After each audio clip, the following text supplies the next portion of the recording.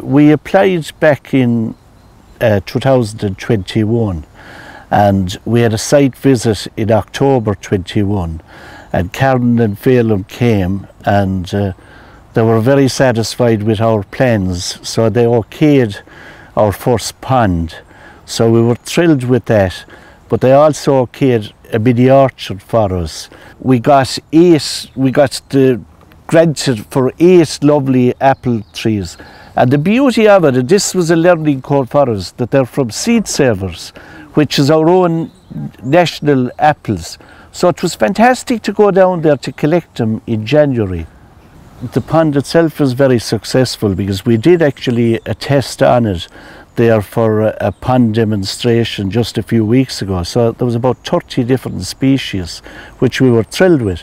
So our members loved that and they loved seeing the flowers and everything. We had ideas of having an orchard and ponds, but it's Burrenbeo that gave us the kickstart, you know, with their grants.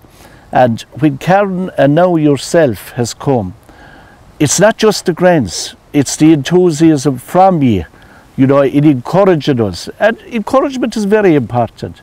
So that's why, you know, we feel good about having yourself and Phelan calling every so often you know, giving us little tips here. And in fairness, he compliments us now and again, which is very good. Where we're sitting now, this is a lovely little quiet spot where you're hear nature, the birds, where members like just we're like what we're doing now can chat together, can discuss about the day-to-day -day problems, maybe health issues, maybe tell an odd lie, tell an odd story. Never. but anyway, the balance is that you're hearing the wildlife, we're creating a space both for our members and for biodiversity. So it's been very successful so far. We have community gardens, we have two of them, and we sow everything and anything. Carrots, any vegetable you named, even pumpkins. You've seen a massive pumpkins. So they're shared out between our members.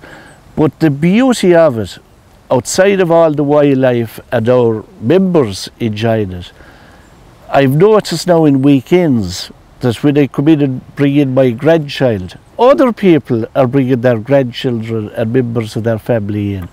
So, you know, it's not just the members, even though it started out that way, uh, you know, for members and the wildlife to be looked after but now it's extending out to communities. You've also have, I've seen a few bird uh, nest boxes and bat boxes. Yes, just uh, just behind us here now, you'll see little bird boxes. We have bird boxes all over the places. We have bat boxes.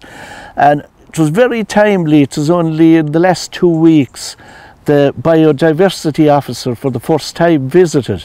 So I showed him around and he was thrilled with the amount of work in the short period of time, the three years we put down the pond and we were thrilled with it, but we wanted to have an island feature.